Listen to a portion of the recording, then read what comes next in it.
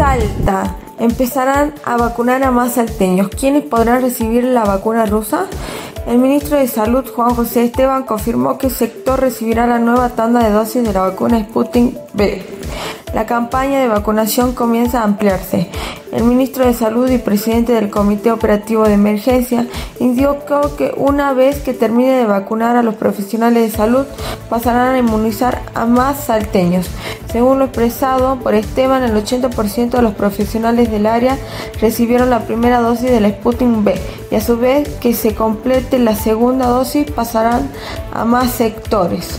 En los próximos días a Salta llegarán otras 4.500 dosis para completar el equipo de salud y pasarán así a los trabajadores de seguridad.